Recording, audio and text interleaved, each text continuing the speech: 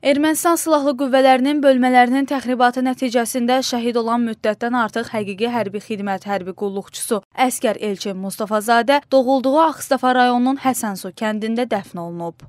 Dəfn mərasimində şəhidin ailə üzvləri, yerli sakinlər, hüquq mühafizə orqanlarının əməkdaşları və rayon icra hakimiyyətinin nümayəndələri iştirak edib. Ermənistanın təxribatı nəticəsində şəhid olan mayor Əhmədov Namiq Hajanoğlu da dəfn olunub. Şəhidin cənazəsi vidalaşmaq üçün əvvəlcə Qazağın Yuxarı Salaqlı kəndinə doğulduğu evə gətirilib. Vida mərasimindən sonra Namiq Əhmədovun cənazəsi kənd qəbirstanlığına aparılaraq dəfn edilib.